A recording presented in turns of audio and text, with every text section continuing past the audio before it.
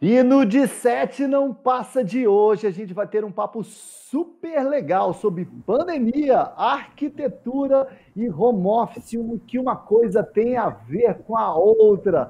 E para falar sobre isso, ninguém melhor do que Amanda Reis, rainha da arquitetura. Tudo bem, Amanda? Bom te ver, menina. Tudo bem, Alexandre? Bom te ver também. Bom te ver. Faz quase um ano que eu não te vejo, desde que a gente esteve naquele TEDx, não é mesmo, Amanda? Sim, muito bom. Saudades. Saudades. Legal, Amanda.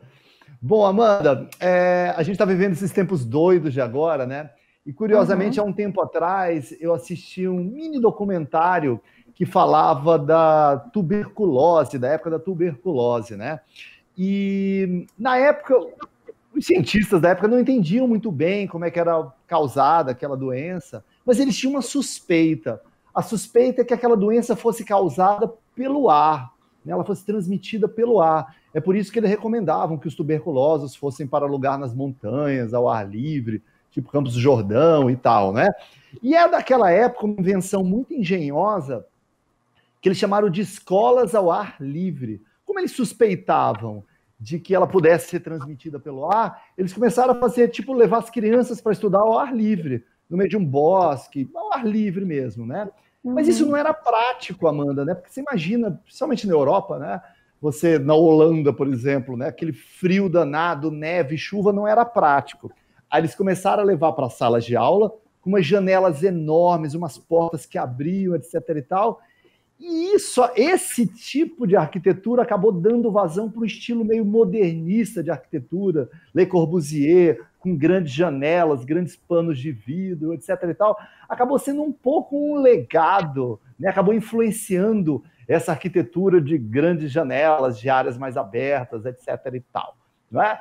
Ah, uhum. Curiosamente, você acha que essa pandemia que a gente está vivendo dentre muitos outros, inúmeros outros legados, vai deixar um legado também na arquitetura? O que você acha disso, Amanda? Então, Alexandre, com certeza, né? Eu acho que assim toda pandemia, né, que, que nós já passamos, é, ela de certa forma transforma assim a arquitetura, o urbanismo e até mesmo o design. Né? Foi assim com a cólera no, no século XIX, né? Então, um exemplo é Londres, né? Que passou a ter quadras mais retangulares e ruas mais retilíneas, justamente, né? Para se facilitar a passagem de dutos subter, subterrâneos, né? Para levar água tratada, né? Retirar esgoto. Foi assim em 1900, e, no, 1900 na verdade, né? Com a tuberculose, com a gripe espanhola. É, um outro exemplo, né? Que você citou aí, você citou as, as, grandes janelas, grandes aberturas nos edifícios, mas nós tivemos também nessa mesma época é, a. É, foi adicionado né, ao, ao, edifício residencial os banheiros, que até então, antes dessa época, é, os banheiros ficavam fora das residências. Né? Então, após tuberculose, né, após gripe espanhola, é, muito influenciado pelos Estados Unidos, os banheiros eles passaram a ser dentro das residências e nós passamos a usar também é, louças, metais, é, azulejos. Então, todos esses materiais que diferente diferente da madeira, né, do barro, é, eles não propiciam é, proliferação de fungos, germes e bactérias, né? Então, foi assim também no pós-guerra, né? Pós-Primeira Guerra Mundial, mais ou menos na década de 30, né? Na, bem na época ali que se começa o movimento modernista, né? E, e, eu acredito que essa nessa pandemia que nós estamos vivendo agora do Covid-19 não, não vai ser diferente. Mas, é, se você me permite, é, para falar um pouquinho sobre o que eu acredito que é a arquitetura, que o, qual vai ser o legado né, dessa pandemia da Covid-19 na arquitetura agora, eu gostaria de voltar um pouquinho e falar sobre o movimento modernista, porque sim, ele foi marcado claro. por, é, por edifícios com grandes aberturas, né, grandes vãos, porque até então, pensa, é, a gente tinha uma arquitetura onde a gente não tinha muitos, é, muita tecnologia, muitos materiais, né, foi bem na, na, durante o modernismo, né, que houve o boom do concreto armado, por exemplo. Então foi quando nós conseguimos, né, nos libertar de grande, com, de uma quantidade muito grande de paredes, né, de paredes muito, é, muitos, muito grossas dentro das edificações e conseguimos ter mais liberdade, né, para trabalhar uma planta mais livre, com grandes vãos, né. É, então isso foi uma coisa muito positiva é, deste movimento e, e, do legado né, da tuberculose, da gripe espanhola, do pós-guerra, né, de toda aquela dificuldade, aquela crise né, pela qual o mundo passou e a arquitetura é, se transformou e se adaptou a isso. É, mas, por um outro lado, é, o estilo de vida que nós vivemos hoje, né, ele foi muito, ele é ainda muito influenciado pela, por uma produção de arquitetura, de urbanismo, é, de mercado imobiliário, é, fruto dessa época, né, dessa época modernista, onde se, se explora muito essa produção praticamente que insere, né, de, de plantas arquitetônicas, né, de edifícios, e e onde você se verticaliza muito, né? Grandes construções em aço, vidro e concreto. Então, toda metrópole é, tem aí, né, seus, no seu centro, é, você pode ver que é bem vertical e aqueles edifícios bem vidraçados, né? Isso tem em todas as grandes cidades, inclusive aqui no Brasil. E, e acabou que eu acredito, compartilho né, dessa opinião de, de muitos críticos da arquitetura modernista, que fala que o modernismo acabou é, tornando a arquitetura uma reprodução muito engessada, sabe? Cheia de soluções muito homogêneas, né? E de certa forma até estéreis, né? Que desvaloriza a natureza, que obstrui muito a nossa visão externa, né? Que priva, inclusive, o, um convívio fundamental né, entre nós, uns com os outros e com a natureza também. É, isso, isso eu tô, quando eu falo de privar, é, é, que nós passamos a viver em condomínios, né? E a verticalização também acabou é, levando a gente a se privar muito uns dos outros, né? E em áreas é, particulares, em ter, termos o, no, o nosso ambiente muito particular, cada vez menor, e termos que nos deslocarmos bastante para chegarmos em lugares comuns. É, mal dimensionados, como por exemplo as áreas livres, os parques, os escritórios, inclusive, né? E olha só, no momento que nós estamos vivendo hoje, né, onde é um momento de reclusão e o lugar comum ele se torna perigoso, né? Enfim. Então, é, eu acredito que o, o movimento modernista é, ele, ele, ele teve uma fase é, praticamente muito agressiva né, nessa produção é, de edificações é, muito pautadas em na arquitetura pela arquitetura, né? Certo. Como se ela fosse uma disciplina isolada é, da questão sociocultural histórica, né? Era como claro. se ela não é, o homem moderno é, não tivesse passado. Então, para se fazer arquitetura modernista, ele não, ele, eles eram contra mesmo a arquitetura vernacular, por exemplo, que foi bastante combatida naquela época, né? A arquitetura vernacular é, um, é uma, um conceito, né, de você Sim. usar é, técnicas e materiais típicos daquela região, né? E muitas vezes é, edificações que não têm necessariamente o acompanhamento técnico de um arquiteto, enfim, então foi muito combatido nessa época. Então a gente meio que no modernismo a gente não se olhou para trás, a gente foi dali para frente. E eu acredito que nesse momento, né, a, a, na verdade, assim, a arquitetura ela desempenha um papel fundamental na construção de pontes, né, entre o presente e o passado Ela, inclusive, eu acho que é, é, é uma das coisas, é uma das disciplinas né, mais capazes de aproximar a gente da história, né? Sim. E, e eu acho, acredito que agora, né, durante essa pandemia, um legado que ela vai deixar aí, né, a arquitetura, o design de ambientes em geral, é a necessidade urgente de nós nos reconciliarmos com a nossa história, Legal. com a história do, do lugar, né? Eu acredito é que é preciso a gente renovar esse compromisso aí histórico, né? E bacana. o legado dos nossos antepassados, né? Você falou isso da arquitetura modernista, de às vezes ela ser divorciada, parece que, da vida real das pessoas, né? Uma cidade que eu acho impressionante, que às vezes eu vou dar palestra, visito trabalho, é Brasília. Em Brasília eu acho impressionante, às vezes você anda uhum. por Brasília, ela parece um museu a céu aberto, e tudo é feito Sim. numa escala tão grandiloquente, que você fala, meu Deus, isso aqui saiu de uma maquete, realmente, inventaram uma cidade. Eu acho uma cidade fantástica, eu gosto da arquitetura do Niemeyer, uhum. mas às vezes eu vejo umas críticas, não a Brasília política, que essa daí não é a pauta mas é, eu falo, uma arquitetura parece que desinclui a pessoa, é tudo Isso. tão grande, é tudo numa escala tão longe das pessoas. Apesar de eu gostar da arquitetura moderna, desses traços, do traço do Niemeyer, que apesar de modernista, concreto armado, ele, fler, ele diz que flerta com as curvas da mulher, dos rios uhum. brasileiros, mas ela tem uma coisa que parece que não é para as pessoas. É tudo muito longe, tudo muito grande, tudo muito distante, né?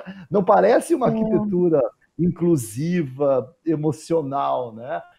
É... Agora, né, não sei se você concorda, já teve em Brasília, se você tem essa sensação que é sensacional, mas ao mesmo tempo parece que é uma arquitetura mais para os olhos do que para as pessoas, é o que me dá a sensação. Não, é, assim. Sim, muito, né? Às vezes eu sinto isso até estando, não sei, em lugares como mais comuns, assim como a, a Paulista, né? É uma escala uhum. muito diferente, né, do ser humano.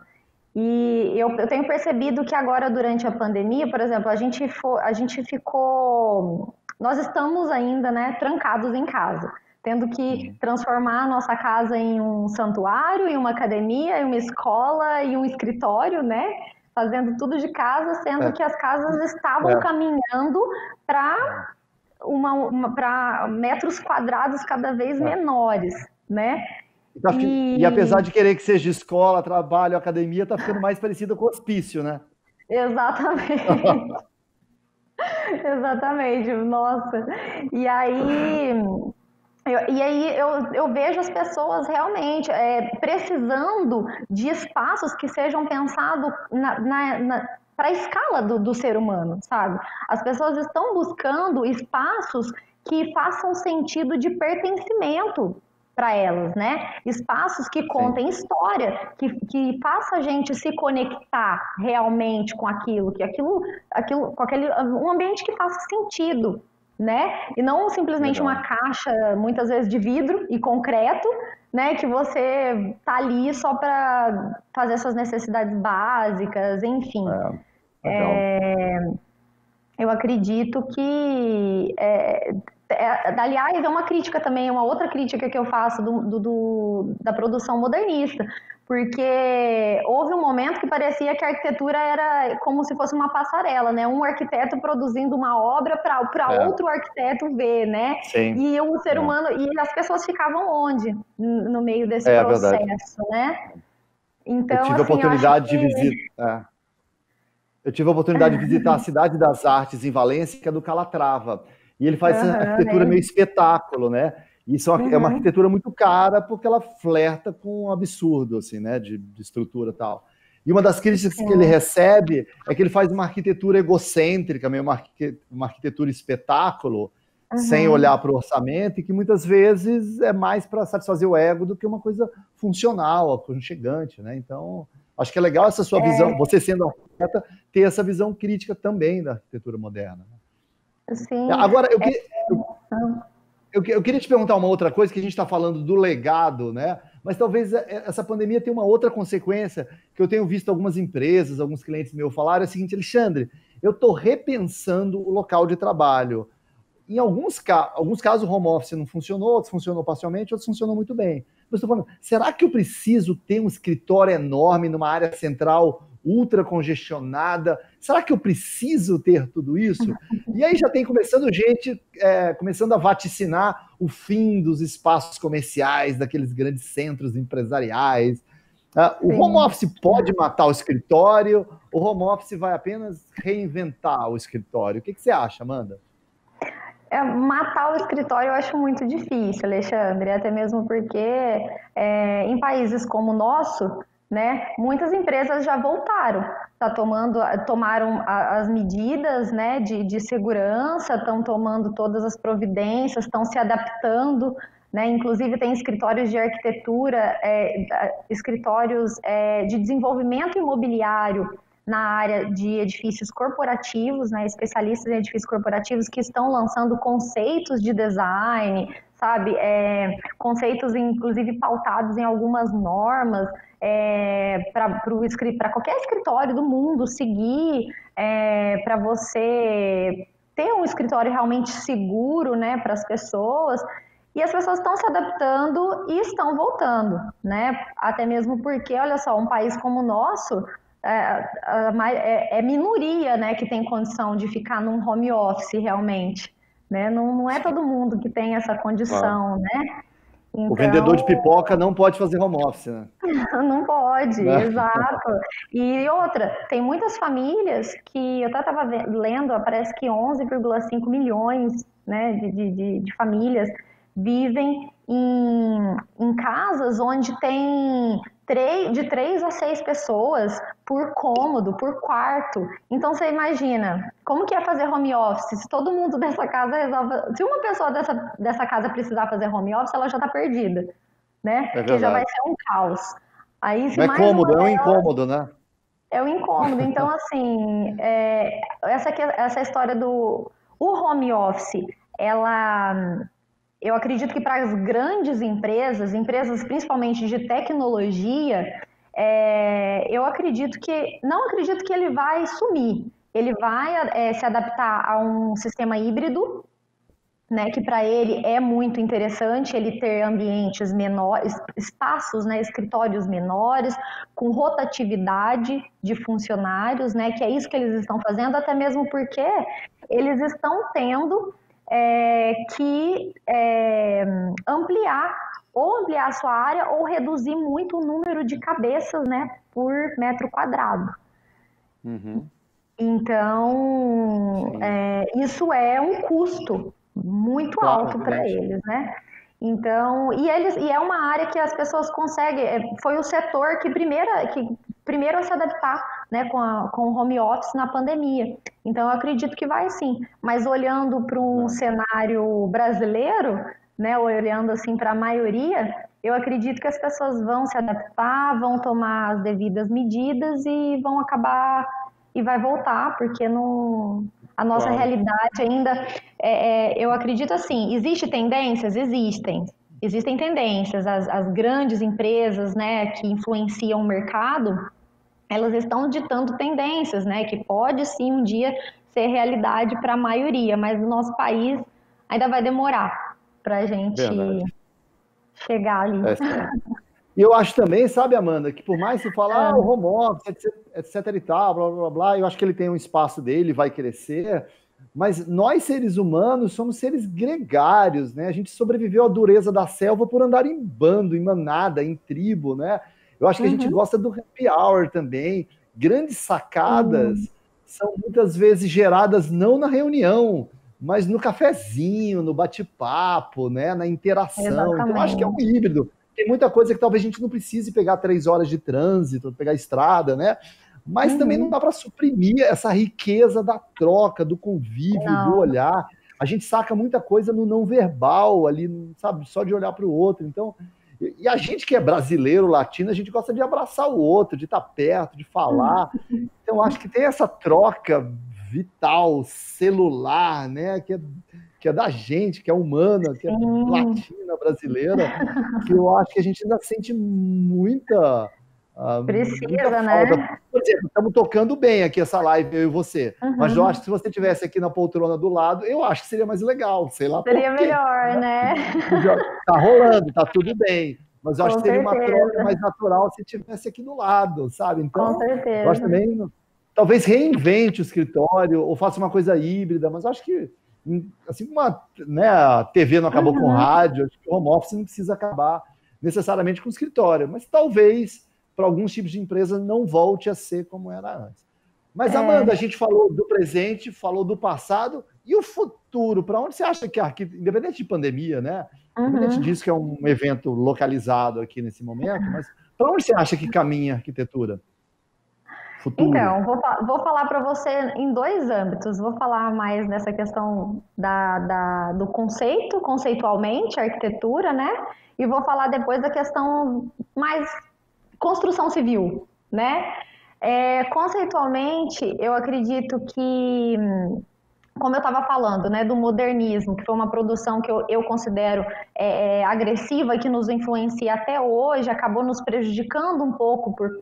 É, prejudicando no sentido de não conseguir amenizar todos os impactos que essa pandemia nos trouxe, né? Então, ela deve dar lugar a uma prática que procura é, responder mais às, às, especificidades do indivíduo, sabe? É, baseadas nas experiências das pessoas, nas memórias das pessoas, nas sensações. Então, eu acredito que a arquitetura ela deve passar a englobar mais isso, sabe? E seriamente isso, levar em consideração memória, experiência e sensações das pessoas, né? Essa mudança é, de foco pode estar acontecendo eu tenho percebido, inclusive, que está acontecendo naturalmente, né? Eu tenho percebido as pessoas é, postando, inclusive, que é onde a gente está tendo contato, né? É, contemplando be as bele belezas em pequenas coisas, né? E eu acho que a arquitetura vai ter esse papel agora, né? De, de admitir que a simplicidade da natureza é algo que jamais é, nós vamos conseguir alcançar, né? E que as suas formas é, as formas da, da, natureza não dá para a gente imitar, né? Claro. E que e que o nosso papel, né, como arquiteto e tal, vai ser de aproximar realmente nós indivíduos, né, da nossa história, do nosso local, né, do meio onde a gente veio e da natureza, né, da nossa natureza. Agora, a construção, falando da arquitetura no âmbito da construção civil, é, eu tenho visto que esses, é, essa ideia de microapartamentos, né, perdeu força total agora, pós-pandemia, né, porque a gente precisa de espaço, a gente precisa de, de, de, de uma cozinha para usar convivendo com outras pessoas, a gente precisa de varandas generosas, né, e não de ambientes comuns claustrofóbicos.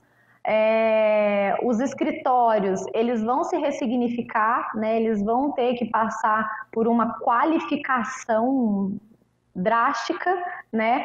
Para conseguir passar por uma outra pandemia, porque pandemias sempre vão existir, sempre existiu, né? Então, a questão aqui não é como nós não passaremos por uma outra, e sim como passar por uma próxima com impactos é, com, e que e esses impactos sejam é, a menos, né?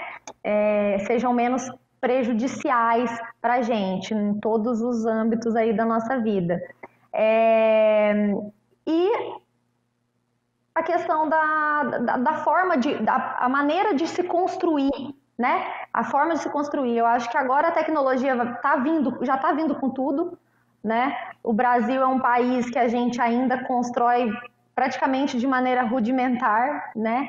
E, mas eu já tenho visto durante essa pandemia empresas que antes eram pequenininhas, né, que estavam ali lutando para é, colocar o steel frame no mercado, colocar arquitetura modular no mercado, arquitetura metálica, eles estão sabe crescendo assim é, de forma acelerada durante essa pandemia, porque é, nós vimos aí, né, nós estamos, estamos tendo que transformar estádios de futebol em hospitais de campanha do dia para a noite.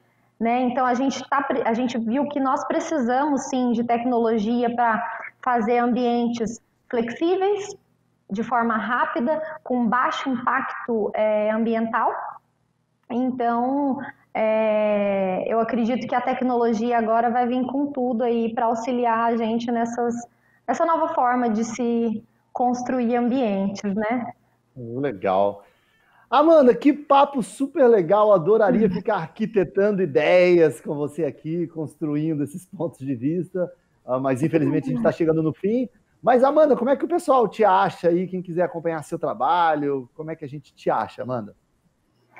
Ah, eu tô no Instagram como Ark, A-R-Q Amanda Reis, pessoal, e tem um Instagram comercial que eu vou começar agora também, mas já tá lá, quem quiser seguir é, para conhecer um pouquinho da minha empresa é smarter.space, é, de Smarter Space Arquitetura e Engenharia.